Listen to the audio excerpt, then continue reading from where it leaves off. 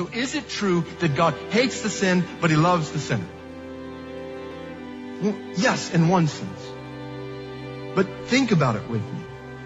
Does God hate the sinner? And this is so key to understanding the cross. Because God's holy hatred of sin, His holy wrath due sin, is not just for sin, as if sin were something outside of you and me. Sin's not outside of us.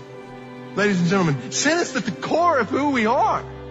So let us be careful not to lean on comfortable Christian cliches that may just rob the cross of its meaning. We're sinners. God is holy, possessing holy hatred toward sin and sinners. At the same time, God is loving toward sinners. So how can God show both wrath and love toward sinners?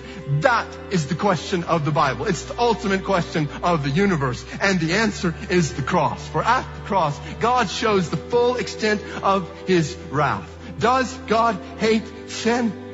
Look at the verbs in this passage.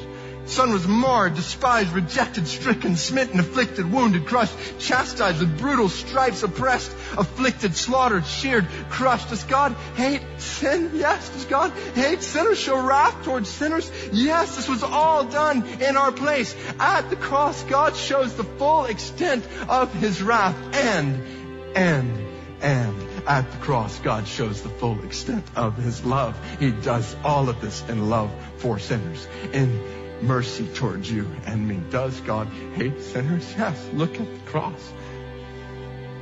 Does God love sinners? Yes. Look at the cross. That's a scandal of grace. Finally.